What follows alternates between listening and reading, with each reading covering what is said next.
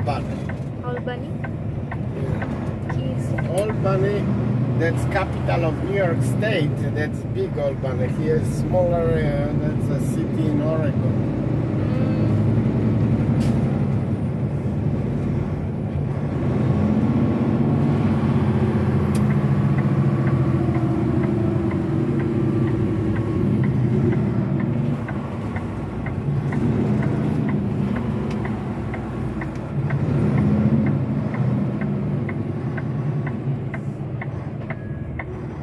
Traffic.